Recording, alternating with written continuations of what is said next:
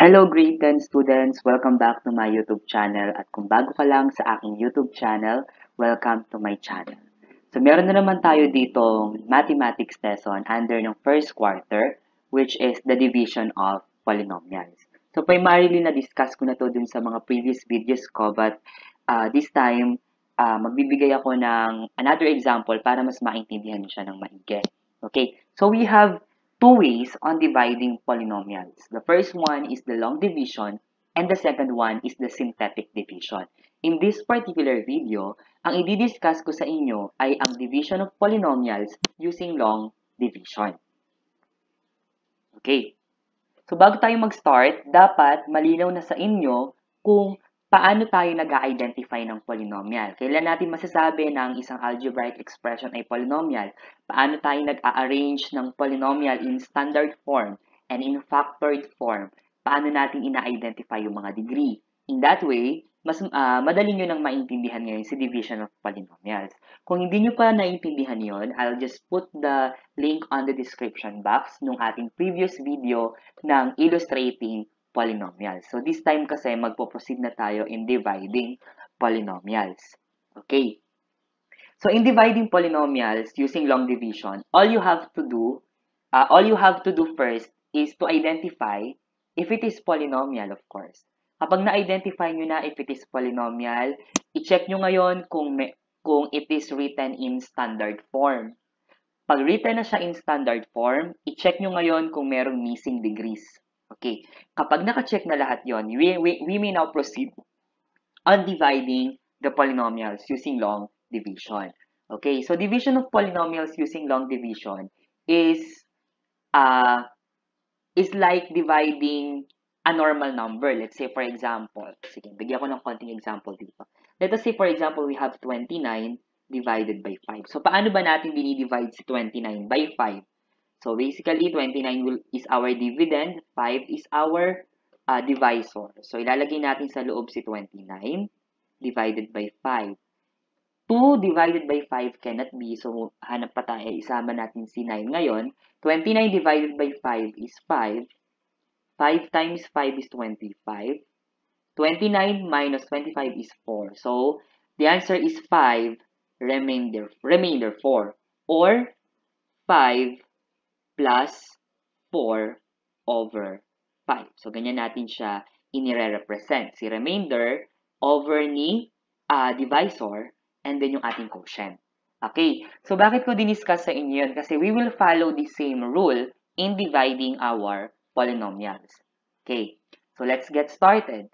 Let us say, for example, we have 2x squared plus 5x minus 23 divided by x plus 5. So primarily, sabi ko nga sa inyo, you have to determine if it is written. So obviously, polynomial sila, di ba? If it is written in standard form. Pag sinabi natin standard form, it should be in uh, decreasing exponent. So nagsimula siya kay raised to 2, kay raised to 1, hindi lang natin nilalagay, pero raised to 1 yun, and then raised to 0. Pag raised to 0, yung x raised to 0 automatic equal to 1. So wala lang yun, kaya wala siyang katabi. So tama naman ito, itong unang itong dividend natin is written in standard form. x plus 5 is also written in standard form. Okay, next, missing degree, 2, 1, 0. So that means we do not have missing degrees. So we may now proceed on dividing these two. Ayan. So lagay muna natin yung ating dividend. We have 2x squared plus 5x minus 23 divided by x plus 5. Okay. So, ganito tayo nagdi-divide ngayon ng polynomial since it is an expression. Ito lang lagi ang focus natin. Ito at ito. Okay. Paano yon? 2x squared divided by x. Again, 2x squared divided by x. Alam natin na 2 cannot be divided by x. So, lalagay natin dito ay 2. Ayan. Next. x squared can be divided by x. Kasi i-subtract lang natin yung exponent niya. So, minus 1 lang tayo kay 2, ay kay x raised to 2, magiging x na lang siya. So, 2x. And then, i-multiply natin ngayon yung naging sagot natin sa dalawa. Sa dalawa na to. So, 2x, 2x times x is 2x squared. 2x times 5, 2 times 5 is 10, so we have positive 10x. Okay, and then, um, change the sign of the subtrahend, it will become minus, it will become negative, and then proceed to addition. So, ganun lang siya kasimple. 5 plus negative 10 is negative 5x. Negative, ah, sorry, positive 5x plus negative 10x is negative 5x. 2x squared plus negative 2x is 0. So, cancel na yon. Okay. Next, let us bring down the remaining one which is negative 23. Ganun ulit yung proseso natin. Ito lang muna yung focus natin at ito. Negative 5x divided by x is negative 5. Ganun na. Negative 5 times x is negative 5x. Negative 5 times positive 5 is negative 25. Okay. And then, change the sign. It will become positive. It will become positive and then plus. Negative 23 plus positive 25 is positive 2. Negative 5x plus positive 5x is cancelled. So, kung ano yung sagot natin dito sa dulo, ito yung tinatawag nating remainder. Okay ha, remainder. Ito yung tinatawag nating quotient. Itong nasa loob, dividend. Itong nasa labas, divisor. So, paano natin ngayon i-express yung answer natin? So, our answer will be, ilalagay natin yung quotient natin, ito yung final answer, 2x minus 5 plus plus the remainder, ang remainder natin ay 2 over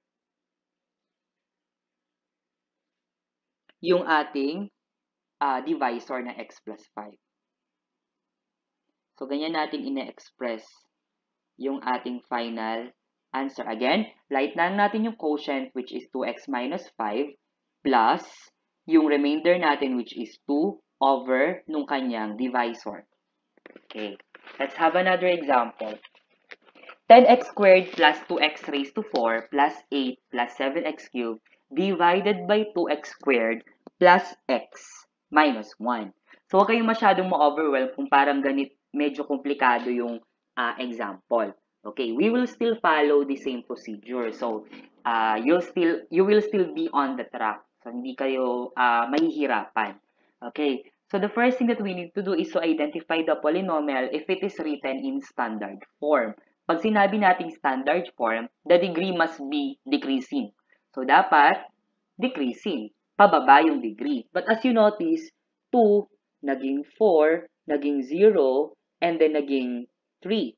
So that means it is not written in standard form. So anong gagawin natin? We have to write it in standard form. Mauuna si x raised to 4. So we have positive 2x raised to 4. Followed by 7x cubed. Tama. 7x cubed. Followed by 10x squared. Positive 10x squared followed by plus 8 divided by 2x squared plus x minus 1 is already written in standard form. So we don't need to write it, rewrite it anymore. Okay, next. Sabi ko nga sa inyo, kapag ka, when we are dividing using long division and synthetic division, we have to determine if there are, there are or there is missing degree. Okay, since it is raised to 4, yung highest degree natin, dapat meron tayong raised to 3, raised to 2, and raised to 1. So, there is one uh, term missing. Ano yon Yung raised to 1. So, yung raised to 1 natin, i-rewrite natin as 0x. So, 2x raised to 4. Lahat ng missing natin, inire-write natin as 0x. 7x cubed plus 10x squared plus 0x plus 8. If the missing is cube, so 0x cubed. If the missing is squared, 0x squared divided by 2x squared plus x minus 1. Okay, since It's already in standard form. There are no missing degrees. We can now proceed on dividing the two polynomials. So, lagay muna natin si dividend. Ang dividend natin ay 2x raised to 4 plus 7x cubed plus 10x squared plus 0x plus 8 divided by 2x squared plus x minus 1. Okay, so ang focus lang natin again, ito. Ayan, lagi yung una, yung focus natin. So, 2x raised to 4 divided by 2x squared is 2 divided by 2 is 1, so hindi na natin ilalagay. x raised to 4 divided by x squared ay 4 minus 2, yung exponent, x squared na lang siya. So, x raised to 2. Then, multiply natin isa-isa. x squared times 2x squared is 2x raised to 4. Ayan. x squared times x is positive x cubed. Kasi ina-add lang naman natin yung exponent when we are multiplying. x squared times negative 1 is negative x squared. Okay. And then, change the sign. It will become positive. It will become negative. It will become pos eh, sorry. It will become uh, negative. Ayan. And then, proceed to addition. Okay. 10x squared, dito muna tayo. 10x squared plus negative x squared. Ay, sorry. 10x squared plus positive x squared is 11x squared. Okay. Next. 7x cubed 7x cubed plus negative x cubed is what? 6x cubed. Ito ay positive ha. Positive 11x squared. So, it is uh, positive 6x cubed. Okay. And then, 2x squared plus negative 2x squared is cancelled. Okay, alisin ko na yung positive. Wala na siyang kasunod. Okay, next, let's bring down 0x plus 0x. Ito ulit focus natin. 6x cubed divided by 2x squared. 6 divided by 2 is positive 3. And then x cubed divided by x squared is simply x. Okay. 3x times 2x squared is 6x cubed. 3x times x is 3x squared. 3x times negative 1 is negative 3x. Change the sign, it will become positive, it will become negative, it will become negative. And then add 0x plus 3x is 3x.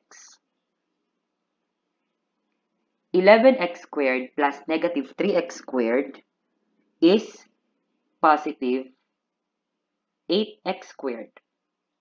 Okay. Next, let's bring down the last one, which is 8. Positive 8. Okay. Dito ulit focus natin. 8x squared divided by 2x squared. So, 8 divided by 2 is 4. And then, x squared divided by x squared is 1. So, 4 times 1 is simply 4. So, positive 4. 4 times 2x squared is 8x squared. 4 times x is positive 4x. And then, 4 times negative 1 is negative 4. And then, change the sign. It will become positive, negative, negative, and then add. 8 plus positive 4 is 12. Positive, sorry. Positive 12. And then, 3x plus negative 4x is simply negative x. So, ang natira natin ay negative x plus 12. So, hindi natin siya pwedeng i-divide kay 2x squared plus x minus 1. So, primarily, this will serve as our quotient and this is our remainder. So, paano natin i-express yung final answer natin? x squared plus 3x plus 4 plus the remainder is negative x plus 12 over the divisor which is 2x squared plus x minus 1. So, yun yung final answer natin for this problem. If you have questions or may tanong kayo sa inyong modules, gusto nyong pasagutan at kaya ko naman, feel free to comment it on our comment section. That's all for today. Thanks for watching.